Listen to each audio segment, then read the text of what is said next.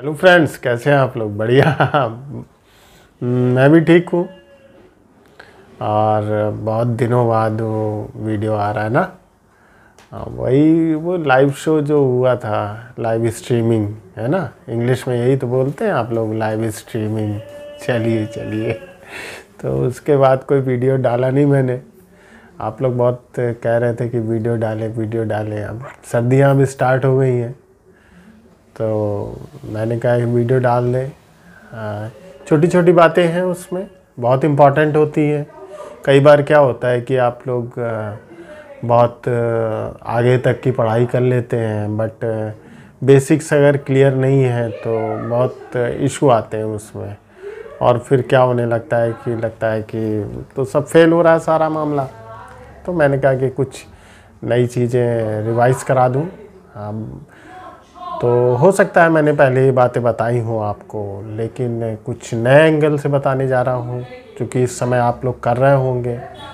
नवंबर का महीना आज से शुरू हो गया है है ना? तो बीच में थोड़ा सा, थोड़ा तबीयत का इशू रहा है मेरा। थोड़ी एलर्जी एलर्जी की प्रॉब्लम रहती है मुझको। तो बचपन से ही है। तो आप लोग भी अपने हालचाल दे दिया कीजिए अच्छा लगता है।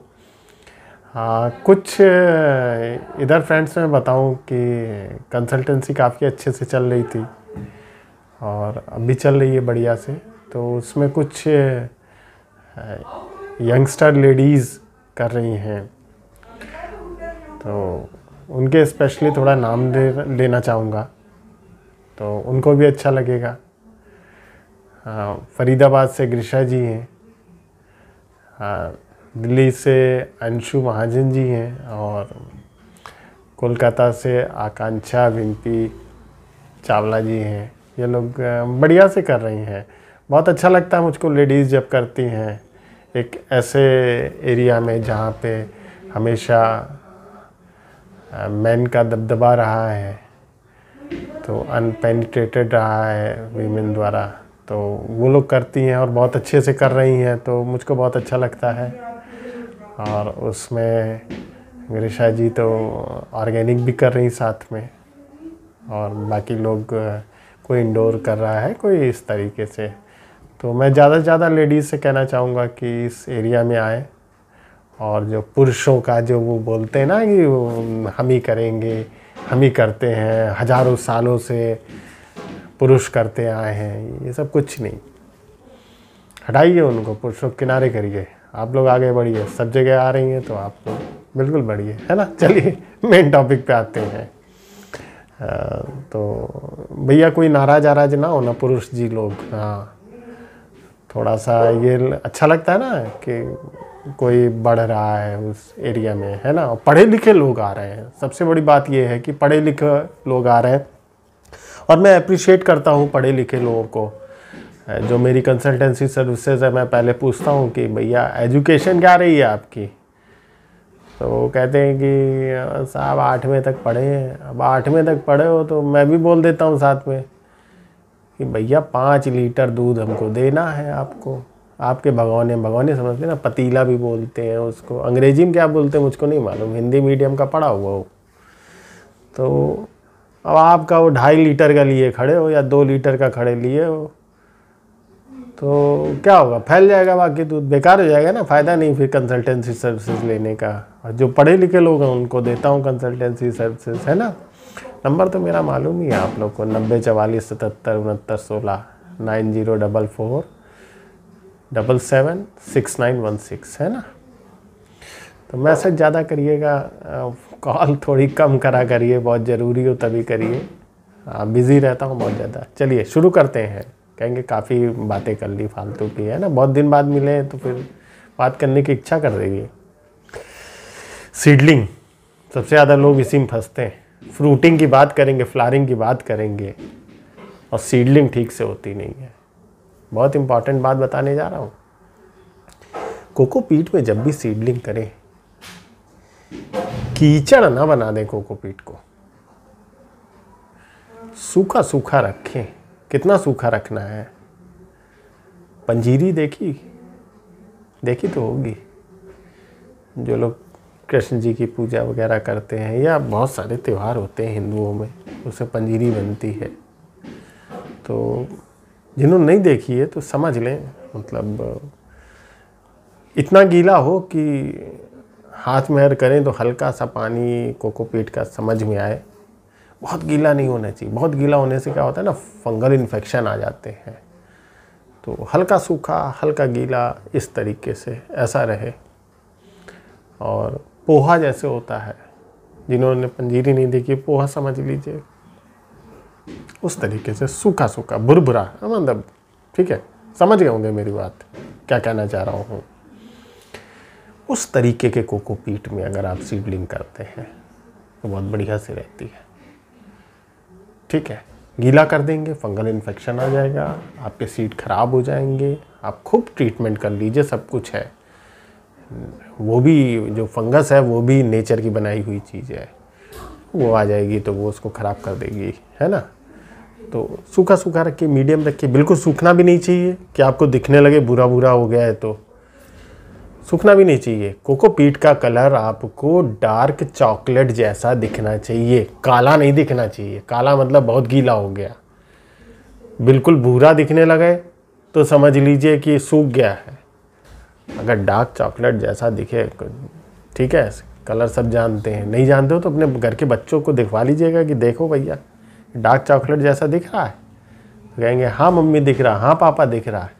तो बस समझ लीजिए कि ठीक है। अदरवाइज़ हाथ से टच करके देख लीजिए, समझ में आ जाएगा कि बहुत गीला है।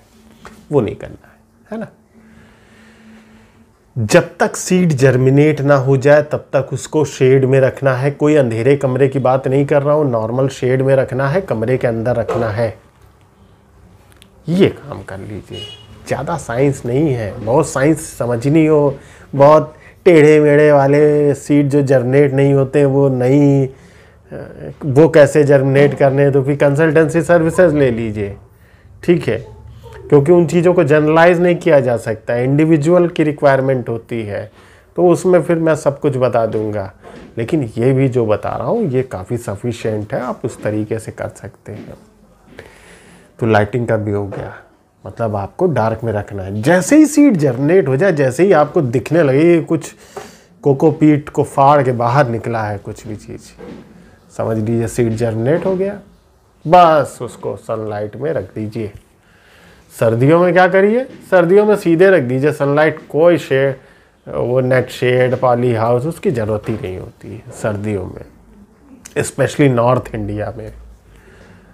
और अगर मान लीजिए आप ऐसी जगह पे, लेकिन इतना तो टेम्परेचर देखिए, हर जगह पूरे अक्रॉस इंडिया रहता है, पूरी इंडिया में रहता है कि आप उसको बाहर रख सकते हैं। सुबह की धूप तो कम से कम दे ही सकते हैं। तो उनको फिर आपको धूप देनी है चार से छः घंटे की। इतनी धूप ज़रूर दीजिए। अदरवाइज़ क्या होगा? वो लगी हो जाएँगे। लगी मतलब लंबे लंबे, पतले पतले। इस टाइम पतली हो जाएगी, लंबे हो जाएँगे। आप कहेंगे, अरे वाह, ये तो हमारा लड़का बहुत बढ़िया बढ़ रहा है। अरे बड़ बड़ नहीं रहा, अभी गिर जाएगा। हड्डियाँ कमज़ोर हो रही हैं उसकी। तो इस टाइम पतली हो जाती। है लंबे होने के बाद वो ऐसे गिर जाएँगे। तो उनको आपको बढ़ने देना है, लेकिन थोड़ा तंदुरुस्त बना के। ऐसे नहीं कि बढ़ते रहो बेटा, वो नहीं करना है। तो इसलिए प्रॉपर सनलाइट देंगे। सनलाइट देने से क्या होता है? फोटोसिंथेसिस होता है। कार्बोहाइड्रेट्स बनते हैं उसके अंदर, और भी चीज़ें फार्मेशन होता है। तो वो उसको स्ट्रेंथन करते हैं, मजबूती प्रदान करते हैं, है ना? तो इस तरीके से आपको उसको बनाना है। चलिए। दूसरा टॉपिक मैंने क्या लिख रखा है? पीएच का रोल और टीडीएस का रोल बड़ा, बढ़िया रोल होता है भैया। आपको आइडियल रेंज मैंने ऑलरेडी बता रखी साढ़े पाँच से साढ़े छः के बीच रखनी है।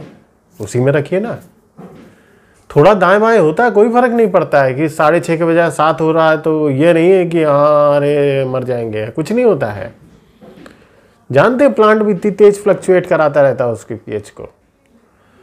तो वो आपको थोड़ा सा ध्यान रखना है कि कोशिश कीजिए, आप ट्राई कीजिए साढ़े पाँच से साढ़े छः बाकी ठीक है, आपका प्लान वो पाँच हो जाती है या उधर ऊपर की तरफ़ सात हो जाती है सेवन हो जाती है तो उससे कोई ज़्यादा खास फ़र्क थोड़ी पड़ता है।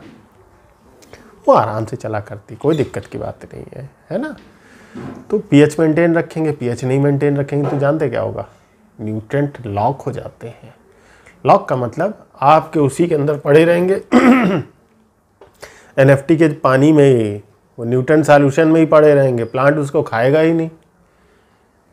क्योंकि एक आपस में दोनों के प्लांट जो रूट्स होती हैं और जो न्यूट्रेंट सॉल्यूशन होता है, प्लांट के लिए कंड्यूसिव कंडीशन होती, जब पीएच उसकी उस रेंज में होती है। मैं बहुत साइंटिफिकली उसके अंदर नहीं जाना चाहता हूँ। ठीक है, एक सरल शब्दों में बता दे इसको। नाले के ऊपर बैठ के खाना नहीं खाया जाता है। एम्बियंस अच्छा होगा तभी तो आप खाना खाते हैं। कि कहीं पे बड़ी ख़राब सी कूड़ा पड़ा हुआ है स्मेल आ रही है, खाना खा लेते हैं, नहीं खाते हैं ना। वो एम्बियंस है। ऐसे ही प्लांट के साथ होता है। कि प्लांट में जब पीएच मेंटेन होगी साइंस में नहीं जा रहा हूँ। तभी उसी रेंज में अलग अलग न्यूट्रेंट जो एलिमेंट होते हैं कैल्शियम हो गया फास्फोरस हो गया आयरन हो गया, ये तभी अपटेक करता है प्लांट जब वो पीएच उस रेंज में होगी। उसकी एसिडिटी जो एसिडिक नेचर है उसका, वो अगर मेंटेन रहेगा, तभी प्लांट उसको अपटेक करेगा। टीडीएस की बात टीडीएस मेंटेन करना बहुत ज़रूरी है। प्लांट जब कम एज का है तो कम टीडीएस का प्लांट रहता है। क्यों? क्योंकि उसके अंदर वो, मैंने बताया था ऑस्मोसिस सिस्टम चलता है। तो ऑस्मोसिस सिस्टम के कारण न्यूट्रेंट अपटेक किए जाते हैं। तो वो पीएच जिस तरफ़ टीडीएस जिस तरफ़ कम होती है तो उस तरफ़ से जो सॉल्यूशन का फ्लो है, वो हाई टीडीएस की तरफ़ जाने लगता है। तब तक जाता है, जब तक दोनों तरफ़ टीडीएस बैलेंस नहीं हो जाती है, बिल्कुल बराबर नहीं हो जाती, तब तक जाता रहता है। सिंपल सी फिला मतलब क्या कहना चाहिए, ये फंडामेंटल चीज़ है, बहुत सिंपल है, कोई दिक्कत वाली बात नहीं है। इसलिए टी डी एस मेंटेन करनी ज़रूरी है है ना? तो आप लोग चाहेंगे तो मैं वो टी डी एस वाला चार्ट आपको दे दूँगा तो उससे आप लोग आराम से पता कर सकते हैं किसी प्लांट में क्या टी डी एस रखनी चाहिए हमको। प्लांट वाइज क्या टी डी एस की रेंज होनी चाहिए पी एच की क्या रेंज होनी चाहिए, वो। अब यहाँ पे बात आती है तीसरी चीज़ कि, क्या बेसिक सॉल्ट और N P K nutrient solution बहुत तरीके से बनाए जाते हैं न्यूट्रेंट्स प्लांट के। आप एन पी के से बना सकते हैं, मैंने जैसे बता रखा है कि बेसिक एन पी के से बना सकते हैं। आप बेसिक सॉल्ट से बना सकते हैं। जो लोग भी कॉमर्शियल जाना चाहते हैं, वो बेसिक सॉल्ट से बना सकते हैं। मैं जो भी कंसल्टेंसी सर्विसेज़ देता हूँ तो इंडिविजुअल उसमें आप लोग को बताता हूँ कि लिफी स्टेज पे फ्लारिंग स्टेज पे फ्रूटिंग स्टेज पे या प्लांट वाइज बेसिक सॉल्ट से जिनसे एनपीके तैयार होता है, उनसे न्यूट्रेंट कैसे प्रिपेयर किए जाते हैं? फ़ायदा क्या है? एनपीके से क्यों ना बनाए? उससे क्यों बनाए? कॉस्टिंग एनपीके से बनाने में जो आपकी कॉस्ट आती है, वो ज़्यादा आती है। ठीक है? If you are going for commercial hydroponics then you have to reduce the cost of your nutrient तो आपको अपनी कॉस्ट कम करनी पड़ेगी अगर आप कॉमर्शियली जाना चाहेंगे। तो बेसिक सॉल्ट से सीख लीजिए और उसे बनाइए। तो आपका जो प्रोड्यूस है, उसकी कॉस्ट कम हो जाएगी। तो आप अच्छे से उसको अपने दामों में, मनमर्जी दामों में बेच सके, बेच सकते हैं और आपका मार्जिनस भी बहुत अच्छे से रहते हैं। तो जितना भी फॉरेन कंट्रीज़ में वो लोग क्या करते हैं? बेसिक सॉल्ट से बनाते हैं। तो मैं भी लोगों को बेसिक सॉल्ट से ही बताता हूँ क्या बेसिक सॉल्ट से बना सकते हैं। उसमें क्या होता है कि क्रॉप वाइज आप जो चेंजेस करना चाहते हैं, आप वो भी चेंज कर सकते हैं आसानी से। तो ये उसके फ़ायदे रहते हैं। तो आप समझ गए होंगे मेरी बात। तो वीडियो बेंड करना चाहूँगा। और कैसा लगा ज़रूर बताइएगा कमेंट सेक्शन में। और अपने हालचाल देते रहा करिए। मेरे तो ठीक है। आप लोग तो और भी ठीक होंगे। है ना? चलिए, अब तो हाइड्रोपोनिक्स चल रही होगी। तो ठीक है फिर। वीडियो एंड करता हूँ, फ्रेंड्स। Okay, thank you.